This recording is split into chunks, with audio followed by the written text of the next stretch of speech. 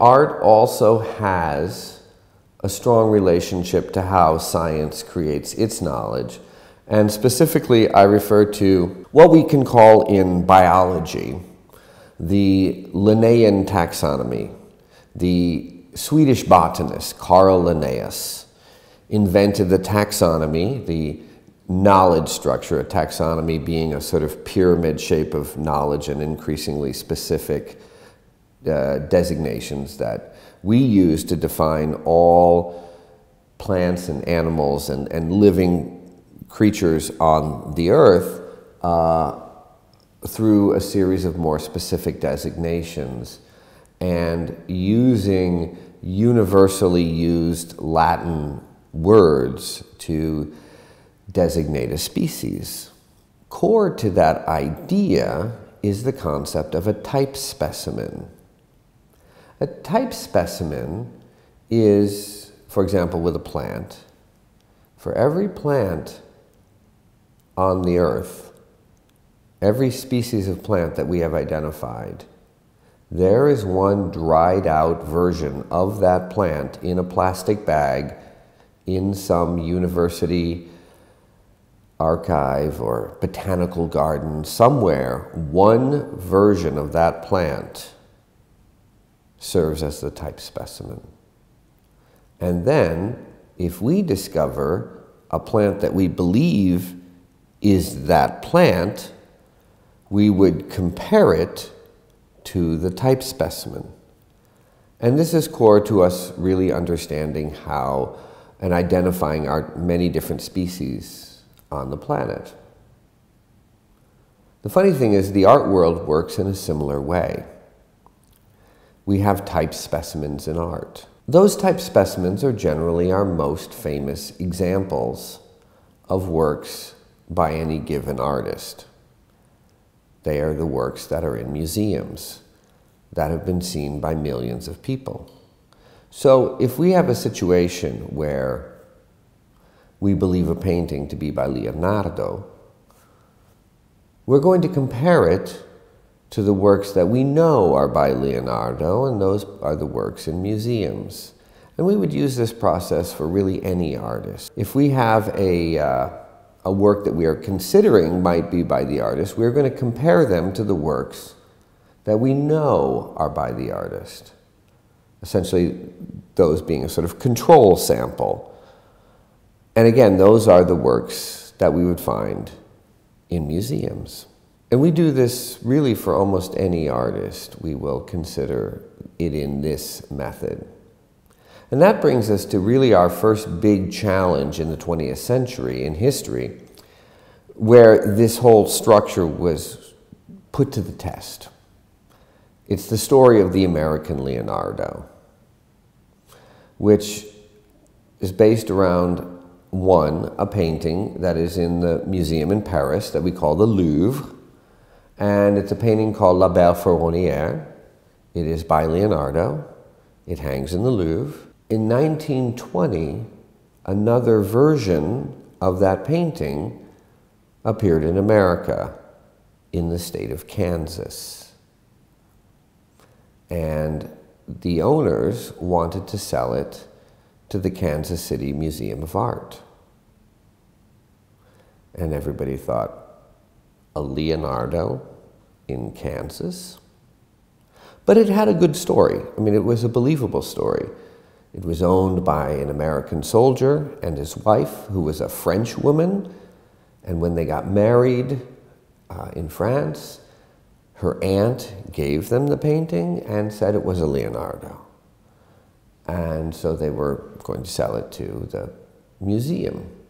But the leading art dealer of the era, whose name was Joseph Duveen, heard about it and was asked about it by a reporter, and Joseph Duveen said, Oh, that's not a Leonardo.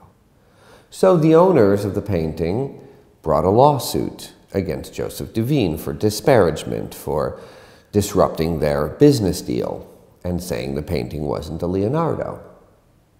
And that began what was the biggest lawsuit in American history up to that point. It went on for almost 10 years, the lawsuit. And what came out from the lawsuit was particularly the role of Joseph Duveen's main art expert, the leading connoisseur of the first half of the 20th century. His name is Bernard Berenson. And he was the main follower of Morelli and adapter of Morelli's technique. And Berenson basically became the dominant art historian and expert for everything in that Italian Renaissance period. And that worked really well for the art market because the American millionaires who were buying Italian Renaissance art would only pay a lot of money for it if they were sure it was authentic. But with Berenson being the dominant authority, almost a sort of monopoly authority, and he would occupy that position really from the beginning of the 20th century, for almost half of the century, he was the undisputed expert on everything Italian Renaissance. And that worked great for the art market. Because if Berenson said it was a Leonardo, it was a Leonardo. He was the truth. And the art market likes that. The art market likes a monopoly authority. One person who says yes or no. And that works very well for the art market. But in this case, when Berenson tried to explain to the court, and especially to the jury, and in the US, juries who really will decide the case, are intended to be composed of, as we would say, a jury of peers. In that case, they were really just regular people. These were not millionaires. These were plumbers, taxi drivers, secretaries. So when Berenson would explain to them that he could explain why the Kansas Leonardo was not Leonardo, and he would try to explain that, well, he's the expert. In fact, he would use the expression that he had a sixth sense that allowed him to perceive these things because he was absorbing and processing many small details in his brain and developing a sort of subconscious recognition. That claim worked really good for the American millionaires. They were happy with that. And if Berenson said something was, then they said yes. But when he tried to explain that to regular people on the jury, they were skeptical. Really? You have a sixth sense. How do we prove that in court? And ultimately, they could not.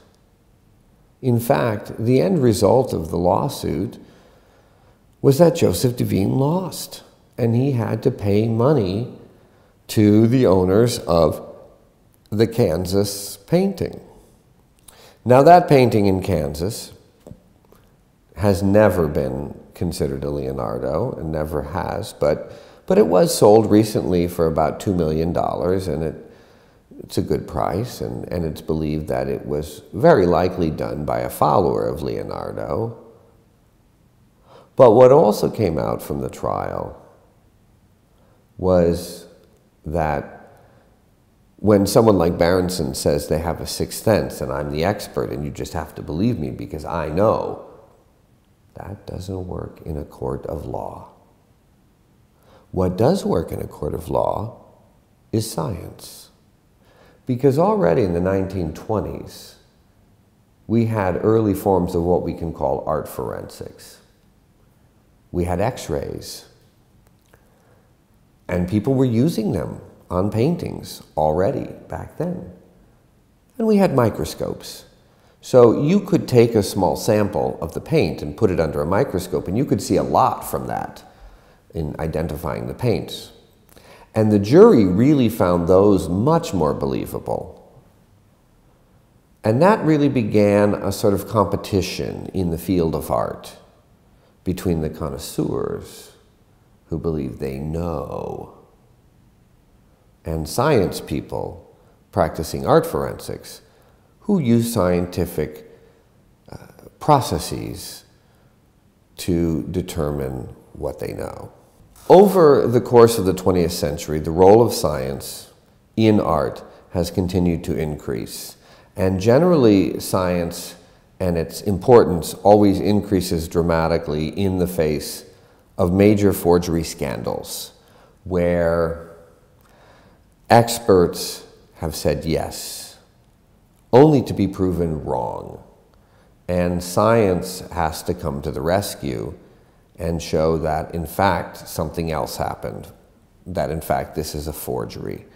And we can see that in cases throughout the 20th century, but really in the last 10 years, just in our field of the art world, especially in New York, the role of science has increased dramatically because it's become ever more clear that on forgery cases, it's the only solution.